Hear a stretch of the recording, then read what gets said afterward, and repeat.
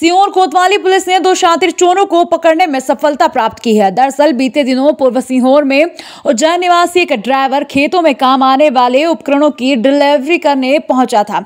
रात के समय ड्राइवर जब अपना लोडिंग वाहन सड़क किनारे खड़ा कर सो रहा था, इस दौरान रात्रि में ही दो शातिर चोरों ने चोरी की घटना का अंजाम दिया। और वाहन सहित माल पर हाथ साफ़ कर दिया, जिसकी शिकायत फरियादी संतोष अग्रवाल पिता रतनलाल के द्वारा सीहोर पुलिस को दी गई।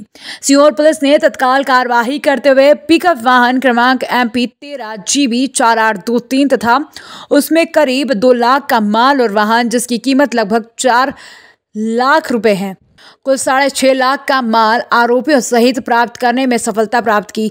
पवन चूड़िया पिता लखन सिंह, उम्र बीस साल, निवासी ग्राम खेजुड़िया थाना, सुजालपुर जिला, शाजापुर। अंकित कुमार पिता रामचरण पुरवरिया, उम्र उन्नीस साल, निवासी हरिचंद मोहल्ला, वीरावल तहसील काला पीपल, बताया।